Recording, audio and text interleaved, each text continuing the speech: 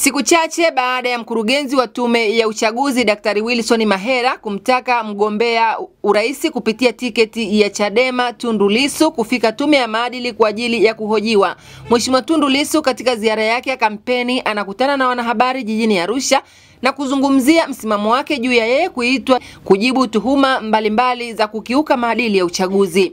Mimi kuitwa kulalamikiwa na kuitwa kwenye kamati ya maadili ya uchaguzi ya taifa, na mimi nimeona hizo taarifa mtandaoni kwamba nimekiuka kanuni za eh, maadili ya uchaguzi, na kwa hiyo natakiwa nifike kwenye kikao. Nilikuwa natakiwa nifike kwenye kikao nilivyosoma soma, nilitakiwa nifike jana, nafikiri ilikuwa jana, na hadi hapa niliposimama sijaletewa wito wowote wa kwenda popote nje ya ratiba yangu.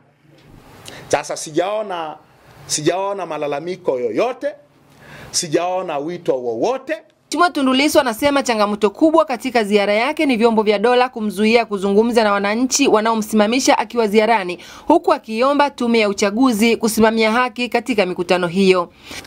Magufuli ni ruhusa, Tundu Lissu sio ruhusa na Chadema.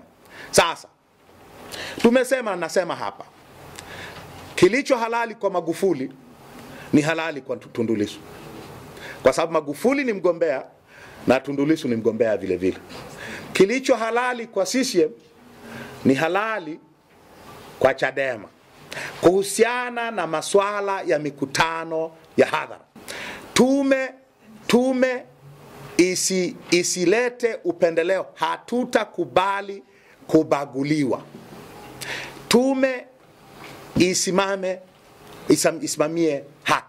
Chama cha Demokrasia na Maendeleo kimefanya mikutano ya kampeni za urais katika mikoa ya Pwani, Morogoro, Iringa, Njombe, Mbeya, Songwe, Katavi, Rukwa, Kigoma, Geita, Mwanza na mkoa wa Mara, ambapo kwa sasa wameanza mkoa wa Kilimanjaro. Nikiripoti kutoka jijini Arusha, mimi ni Theodora Mrema wa Star TV.